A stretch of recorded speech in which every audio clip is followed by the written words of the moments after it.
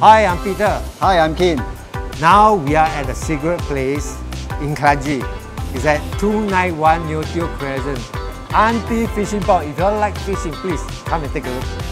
Uh, this Auntie Fishing Pond is a very family friendly. Uh. You can bring your kids down here to feed the turtle and you can come here to eat also. They, they, they serve seafood. Sometimes you all catch a fish, you can ask them to cook and they will cook for you.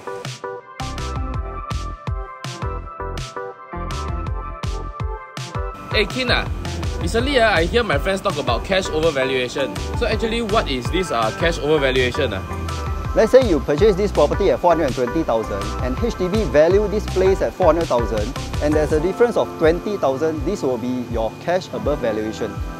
Then what are some factors that actually affect uh, the valuation of the property? Factors like locations, high floor and beautiful renovators, all these are the factors. And especially, uh, you know, now BTO have to wait for six, seven years. A lot of people don't want to wait and there's a lot of demand for resales. So this is the right time and a good time to sell. And we also tied up with My Digital Lock and we offer special packages for all our viewers. If you are looking to buy, sell, rent your property, please, Please look, look for, for us. us.